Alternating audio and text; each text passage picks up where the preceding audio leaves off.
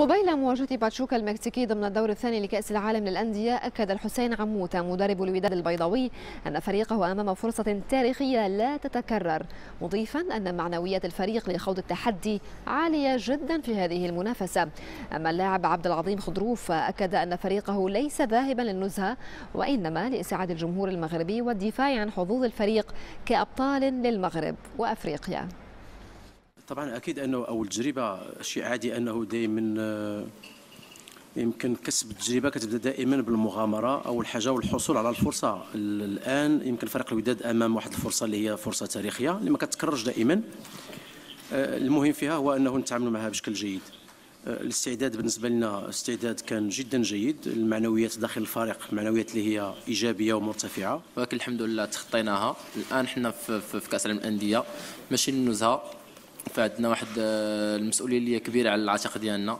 لا بالنسبة لنا كفريق الوداد البيضاوي المعروف بالألقاب ديالو. آه، ما يمكنش أننا نطيحوا من الصورة ديالو. فإحنا جينا هنا باش ندافعوا على الحدود ديالنا. آه، كأبطال المغرب كأبطال إفريقيا. فإحنا هنا باش باش نبينوا لو بوان اللي اللي اللي عندنا لي طالون اللي عندنا. باش إن شاء الله نشرفوا الكرة المغربية إن شاء الله.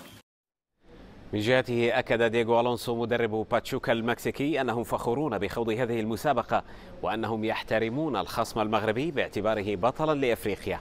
أما لاعب وسط الفريق المكسيكي خارخي هرنانديز فأكد أن الفريق أو فريق الوداد يمتاز بسرعة لاعبيه وعليهم سد المساحات من أجل السيطرة على مجريات اللقاء. تشرفنا المشاركة في هذه البطولة وأكبر حافز لنا أننا نشارك فيها بوصفنا بطلا للكونكاكاف. خوض مباريات ضد أفضل الفرق هو حافز كبير لنا ومصدر فخر. بإمكاننا التعلم من تجربتنا في الماضي والتعلم من الخبرات التي اكتسبناها من مشاركتنا في المسابقة. نحن ندرك أنه ليس بوسعنا الاستهانة بأي فريق لذلك نحن نحترم خصمنا العظيم بطل إفريقيا. ندرك أنه فريق منظم بشكل جيد ويشن الهجمات المرتدة السريعة ويعتمد في ذلك على سرعة لاعبيه الكبيرة بصورة حسنة. لذلك فإن علينا اللعب بتنظيم كبير وألا نفسح لهم المجال.